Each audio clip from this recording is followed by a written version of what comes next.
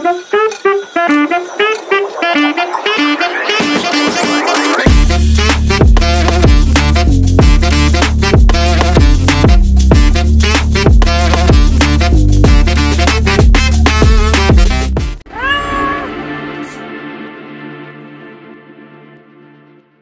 everybody. We are the Podcats, and welcome to our very first podcast, uh, where we are going to introduce ourselves and talk a little bit about um, why we are even doing an, yet another podcast, Hidden Figures of Python. And uh, we have announced it already on social media, and we are also going to address a little bit some of the responses we've had. So, with me today, we have uh, Mariatta, Georgi, Cheuk, and um, we are all, all over the world. So I'm Tereza. I live in Hamburg. I'm from Romania. I started PyLadies Hamburg long ago, and I'm involved in several of the Python Software Foundation groups like Code of Conduct and Diversity and Inclusion. And Mariatta? Hi, everybody. My name is Mariatta. I'm in Vancouver, Canada, and I'm a Python core developer. I'm an open source maintainer and contributor and I'm involved in the Python community in a lot of ways, not only as the open source contributor, but also I run conferences, um, meetups. I've been the chair of the PyCascades. I, I co-founded the PyCascades conference, and I'm chairing PyCon US 2023 and 2024. Um, go to you, Georgi. Hello, everyone. This is Georgi here. I'm in Amsterdam. So I'm actually um, a little bit everywhere. So previously, I've been living in Thailand and um, helped out and organized and led uh, PyCon Thailand and also PyCon APAC 2021 kind of not only Python related events, but also several hackathons and like Code War. And I did um, organize uh, RubyConf and co founded um, PyLadies. And I'm also, um, I've also actually been designing um, the websites for PyCon and a few other main Python related um, events passing the mic to Cheuk. Hello, I'm Cheuk. I live in London. Uh, usually, I'm not home because I am a, a, speaker at a lot of different places. Um, right now, I'm in Tokyo, Japan. So, hello. um, also, uh, I am currently at the PSF board. Um, I've also been a PSF fellow since 2021 and um, yeah, I've been involved in a lot of work in the Python community. Yeah, so I think uh, maybe we should just explain a little bit why we come up with the name Hidden Figures. So we have been searching around and finding a lot of um, ideas, and Cheuk even came up with uh, something crazy called uh, espresso orange juice which was actually just simply what I like to drink. that was one of the first idea, and then eventually I remember um, Mariatta came out with the hidden figures. So maybe Mariatta, you can explain why it comes out with that. Uh, you you come up with that um, title. Well, yeah, I guess it's really about what is what are we doing in this podcast? Like, what is the topic of this podcast is about? And I guess when we talk about it, we wanted to highlight underrepresented group and uh, women in the Python community because we felt their stories aren't being shared enough, or I think they they're not getting the recognition that they deserve.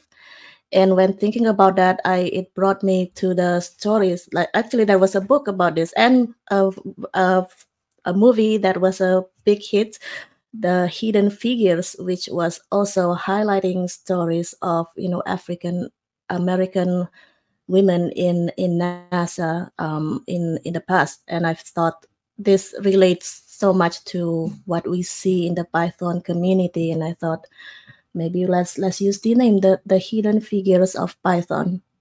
Yeah so um it's not just about the title. I think the idea came up uh, kind of kind of brew uh, into uh, what it is now, starting from PyCon US last year, which um, I seen like you know everybody's there. There's like a big party. A lot of people very excited um, to see so many people, and um, you know, uh, go to film some podcasts while they meet some speaker or some guest that they want to invite there in person. So um, I think that's great. But I have I have an observation about like most of the these guests or people who have been interviewed are um, male. so um, it's just for me, it feels like um, of course these people they have achieved a lot of things. They got a lot of respect in the community, but I feel like are there, are there any women at all who kind of achieved the same level of you know contribution getting respect from the community but hasn't been featured for whatever reason? So um, that's why i think that you know we need to do something about it. So um, i talked to my good friends sitting here, um, and they're all on board of this idea that we should do something. So um, that's kind of how it got into. We'll do a podcast. We find a good name for it, and um, why we're here. So I think Georgia and I are in the diversity and inclusion uh, work group with the PSF, and here one aspect is also um, visibility and also highlighting role models because another side effect of seeing a lot of events and podcasts where there's mostly men talking or doing things or being highlighted that they're doing it makes it not very inviting sometimes right? And if for people that want to get started and they're from underrepresented groups in tech or women and if you don't really feel like there's role model you don't see role models you don't really uh, see that there is space for you like an inviting space. And but i know like once you start getting involved so we have PyLadies we have all sorts of organizations in python once you start getting involved you see that there are people there are role models. It's just that they're not it's not very obvious. And i think this is how do we make that a little bit more obvious right? So this is not about taking space from other people right? It's more about highlighting that the space is a lot more diverse than it's looking at the moment. If i can add like i feel there is there is a lot of power in highlighting role models. Um, for example i could share my personal experience like when i i went to pycon for the first time ever i saw lots of speakers men and women. Like when i go to speakers um even though i saw lots of speakers it was only when I saw another woman, another, you know, women of color on stage. That's that's the moment that I feel inspired myself that, oh, maybe I want to be like her. Like I want to be a speaker too. And I that kind of power you don't I did not get it unless I actually see somebody. And I feel like there is responsibility in you know community leaders to not only provide content but making sure you are highlighting you know diverse members to be able to further inspire other people. So that's that's what what i want to get one thing um tereza you brought up about this and also mariatta bringing this up i personally was a bit um, surprised when i actually started stepping up as the mm, organizer the Py- pycon um, thailand lead at the first time. The moment I, I took over this um this task i see that there were more women that actually started joining and participating. The year when i actually started there was slightly better maybe like three or four um, i would say from 10% of um, female speakers it increased to about 20% and now that the ball got rolling, PyCon Thailand this year has um, about almost 50% female sub- talk submission.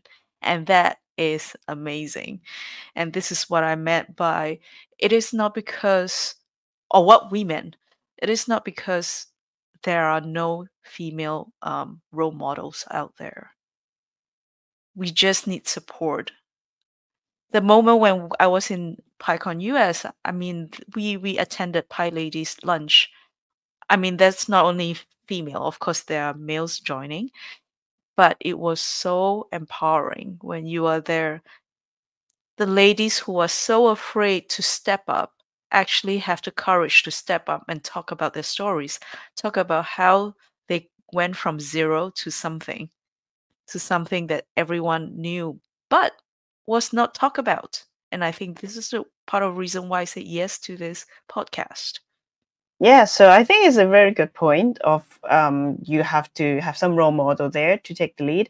That's why I keep talking to organizers that do you have any women in your organizing team not just as a volunteer that you know do some small tasks and stuff they're actually in the i would say a leadership role that they're helping to make decision helping to you know eh, to be in the discussion and stuff. We need that because you know you can say all what you want that we support diversity but even if it's so simple right? Like we are not talking about finding you know someone who may be you know uh, quite difficult to find. It's just you know well this world has you know two gender well maybe more than two gender but majoritatively there's two gender. And like um so like even that like finding let's say women to to get involved to be there like do have you ever tried? Have you do it?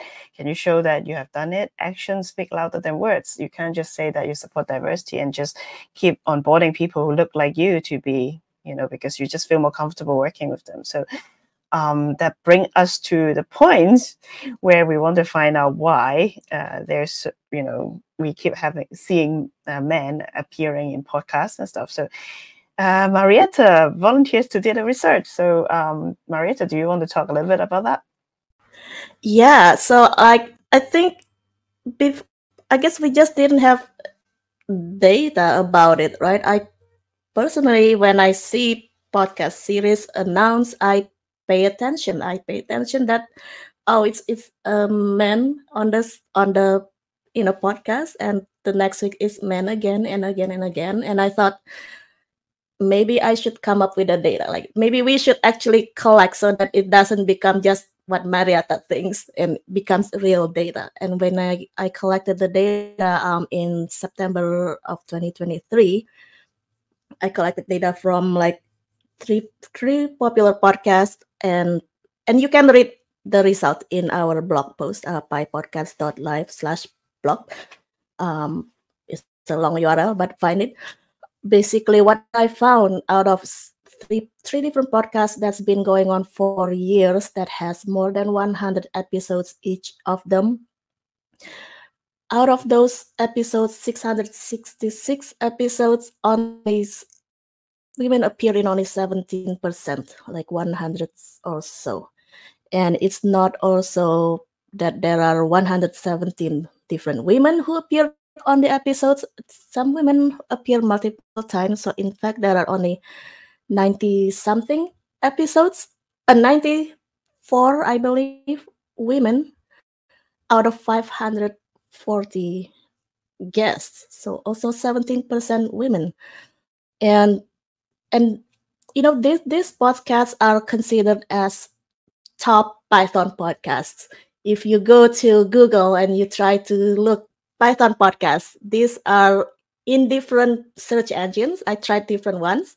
These three podcasts are the ones that appeared and i feel like this yes they have different reasons maybe for doing their podcast but appearing on the podcast also comes with you know a power to influence the python community. And why are women being highlighted there? That's a that's a question we're wondering right? Um anyway if you like to read the blog post um we announced it earlier. Um we got some comments about it. Um does anybody else want to add to those? Yeah i wanted to add something.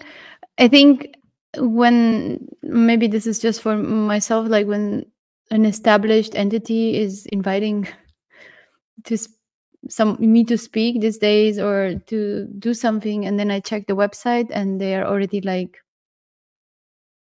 un, i'm not represented there I usually get the feeling that, hmm, why are they writing to me now? they want to improve their diversity numbers.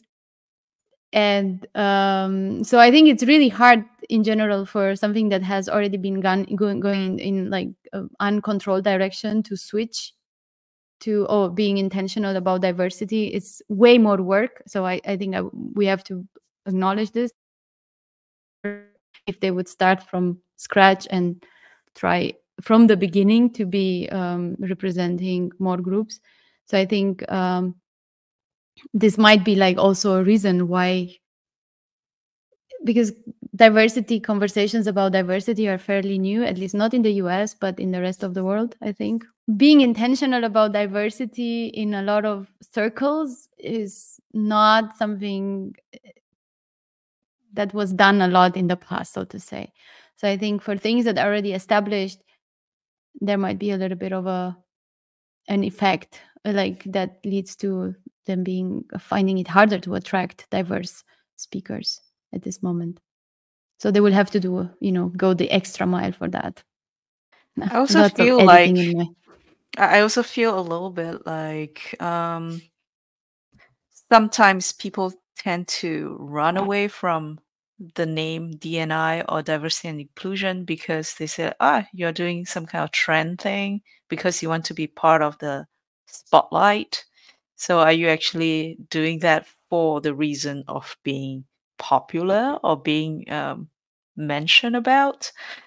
Which um, also kind of contradicting you know i mean? It's like some people wants to be part of it because they invite other people that is from the um, minority groups or underrepresented um, underrepresented groups and to just bring up and say hey uh, we want to include you or simply put rainbow colors on their logo. And um, do you really mean that that's the that's the thing. Do you really mean that you're doing diverse, um, in, inviting a diverse and uh, inclusive um, group, or or are you just being part of it to to be to be the trend of um, of 2020 and 2021 or something like that? And um, this is something that I, I find some people tend to run away from and at the same time some people wants to be that just for the spotlight but rest assured the four of us i can feel that it's totally because we feel that we are it's it's like something is burning inside your your your heart. It's like you want to say something but uh, you're just waiting just waiting for someone to like pop out to just uh, make that difference. And we realize that we still don't see anyone and that's why I say, you know what? Let's just do it. We can, we can do it. It's it's not there's not gonna be a, tomorrow, and uh, I think that was part of the reason why we we are here too.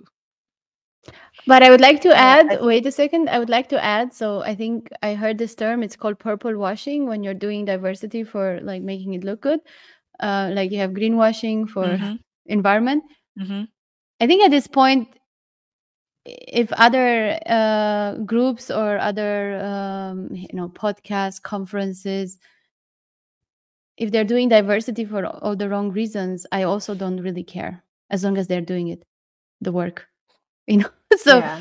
the outcomes are still going to be valuable right so i would say to everybody out there who is thinking okay but what if my reasons are marketing and make our uh, um, podcast look good and whatever. Yeah it doesn't matter you know just do it.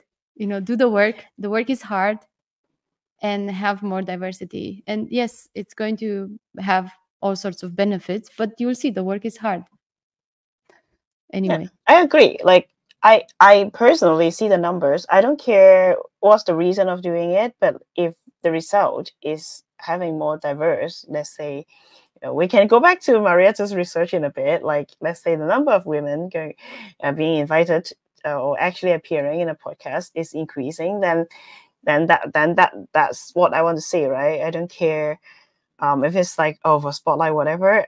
Is is hard work. I can tell you, like doing diversity and inclusion work is hard work. Is not always get appreciated. Is doing something like sometimes you have to fight against what is popular opinion and stuff, right? You have to fight against the current, and you know, even if someone started just want to, oh, you know, for, for whatever like quotation wrong reason, but you know, as long as they put in the work, as long as we see the results, we should still appreciate that, you know.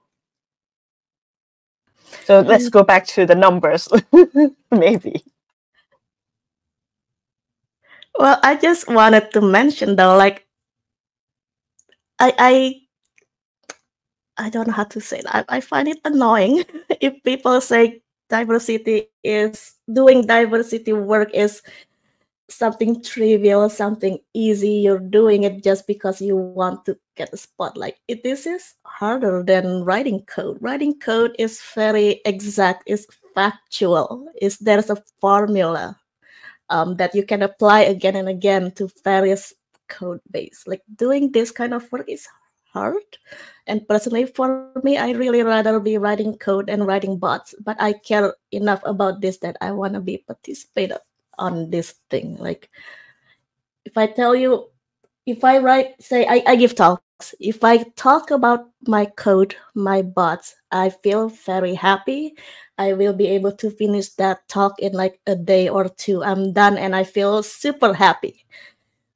But I give sometimes I talk about diversity, I talk about the community. Those talks takes me at least two weeks to prepare and then during the rehearsal of that talk, I feel super sad and angry and not happy. Like it's a lot of mental burden being involved in diversity. And yeah, I find it annoying when people said, oh, it's just diversity, as if it's easy. Anyway, that's I, I'm in just rambling. no, I, I, I don't think it's rambling. I, I totally agree. Um, I I I think all of us here, all four of us here, has been through that stage. Um, I remember when um, I started creating just simple meetups, and um, we month after month, I was literally the only female there, and uh, all the other attendees were were male, and someone just said yeah, I mean, uh, you know, because female don't want to speak. And like and and someone say and an interesting thing, uh, one of the company's uh, founders, he was saying that he was there because um, he just tried to get hire new Python developers. And he said, you know what? I cannot find female developers. I've been hiring. No one is there.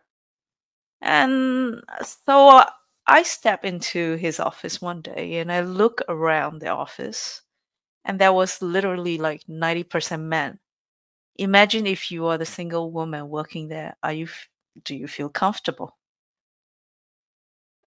Do you feel comfortable working there if um, if you are the only one? So I think there are many ways you can make an effort to make a difference. Not only doing the first step, which is super important because someone needs to have that difference there. And um, also, is it? I, I don't. I totally. I. I mean, two thousand percent disagree that there's no develop, female developers out there.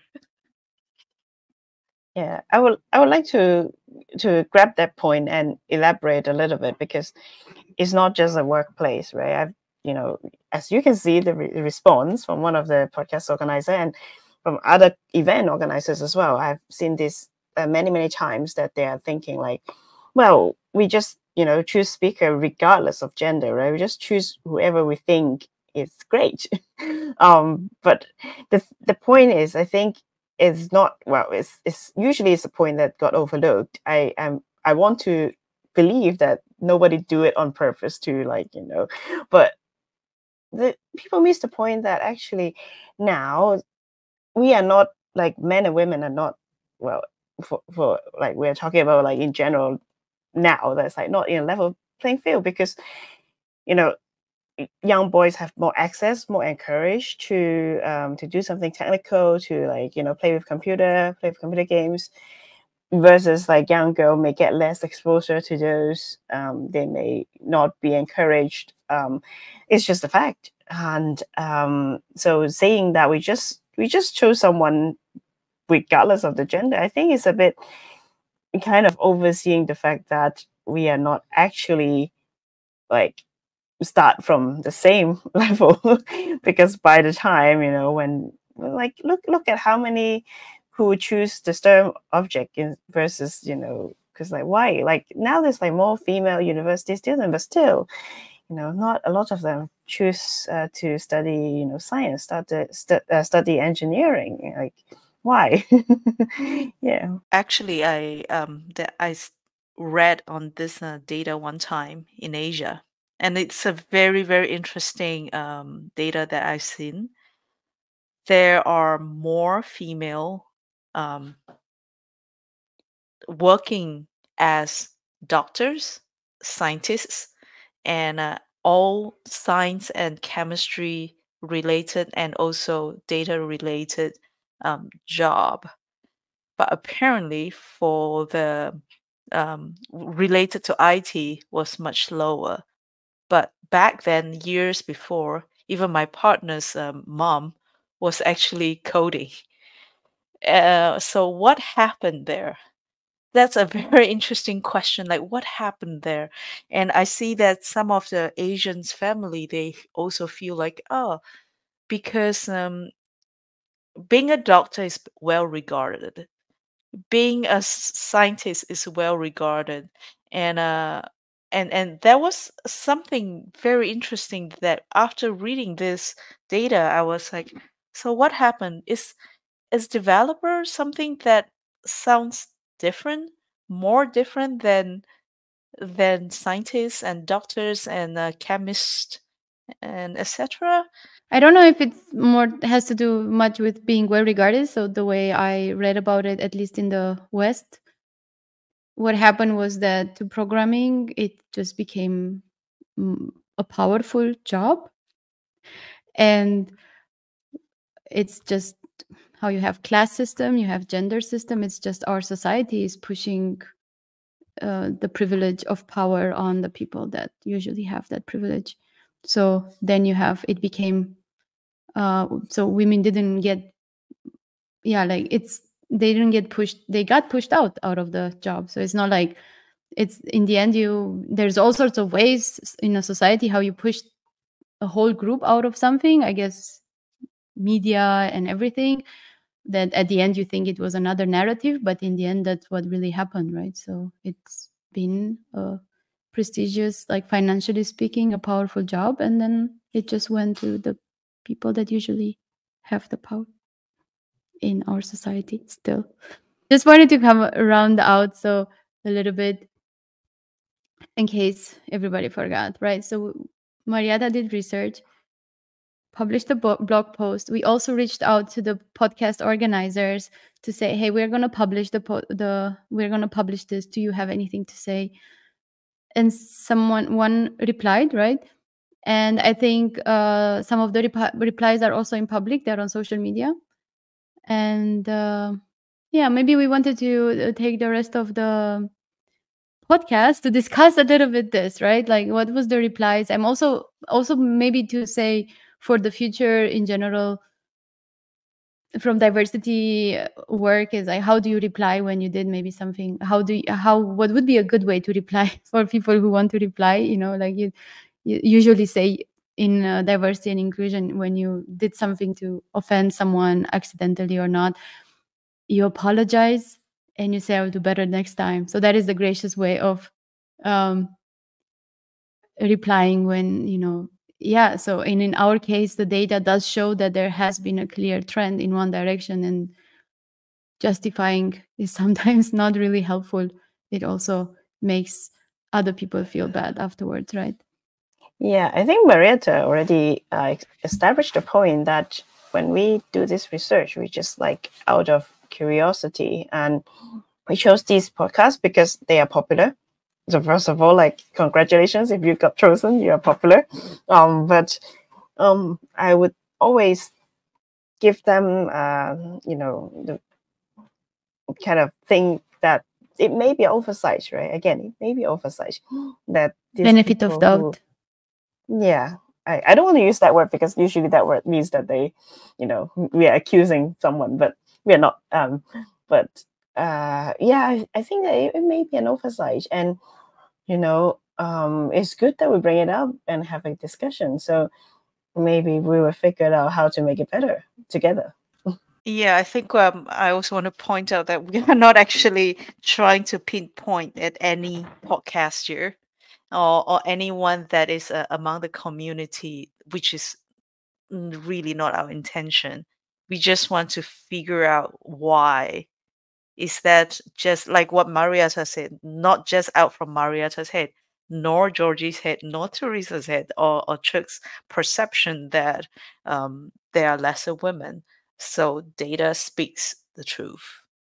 And um, I personally it's not only it's not only to be honest not only female i would even support that we will invite um, underrepresented um, folks. And i grew up with um, with people who are um, misrepresented many times especially like uh, the gays the um, the lesbians and all this. And i think uh, they are just as a human as any one of us i'm not going to make any judgment and we are not making any judgment. I'm just going to make it simple to say that we are simply drawing out information and data and uh, we are not pinpointing at anyone else. Yeah. But i would yeah. also like to yeah or mariatta sorry. Mm-hmm. go ahead. Oh i guess i just want to mention like i feel encouraged by the story that we have even in the Python and PyCon community because at one point, if you go to our about page, uh, at one point the PyCon speakers were like 99% all men. It's just 1% is women women speakers and but it's got better over the years because you know there are several groups of people who intentionally try to make it better like it starts with identifying oh, there's not enough women here. What are we going to do about it? And actually doing something, highlighting the importance of it. And over the years, this this got improved. And I think like this is what we are trying to do here. Like we wanna start by highlighting that there is an issue here. What are we doing? What can we do? And what can you all do? Like this is from us, we're trying to just highlight more women and other represented group members in the Python community. So maybe there are other ways of what you can do as well. So go ahead, Tereza. Yeah, yeah I just wanted to add that um, maybe we sh- I I I don't really need to for me personally I don't really need to focus so much on the why. I mean, there's all sorts of whys and some of them are not really um constructive for moving forward uh, but rather focus on yeah what can we do to make it better so i think for conferences in we've so we all of us here have organized uh, conferences different conferences and then in a lot of places there were quotas right i mean there were like it's like hey i mean some conference they said we want to have this kind of diversity and then we also want to have this other kind of diversity and those were like at the beginning before speakers were selected, right? So not after oh we found all the men speak we ha- we found like 10 men speakers. Now we need to look for women as well or something like that. I- i've seen that also happening right? But that's a little bit like the wrong direction. So so i think starting from like hey what is the end result that you want to have? And then how do we get there?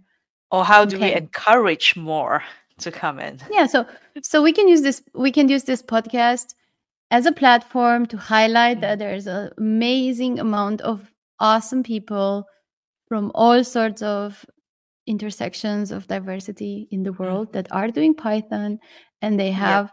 really successful stories and less successful stories, direct or non direct, to get to where they got that they will share with us.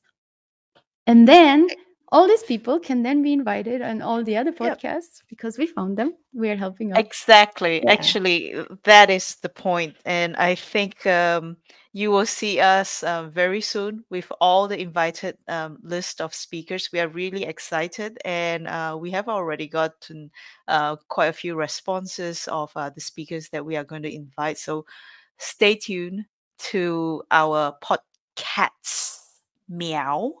So if you want to send us any message, meow at pypodcats. dot live um, and that's how you can actually um, catch us um, and maybe if you want to speak on our um, one of our episodes just uh, write to us Also, yeah even if it, this is this would be your first podcast, cat podcast, this would be a very first time fav- friendly platform.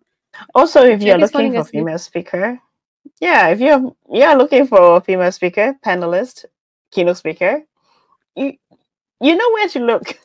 you don't have to. I promise, all of our guests are great. I promise. So So, yeah, until yeah. today, you could say there are no women speakers out there, no women doing Python, you know, until today. But from now on, you there no more plenty excuses. There won't be any more excuses.